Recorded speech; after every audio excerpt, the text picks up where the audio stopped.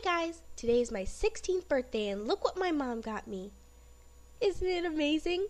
She's so sweet and kind, so thoughtful. Thank you, Mommy. Love you. Happy!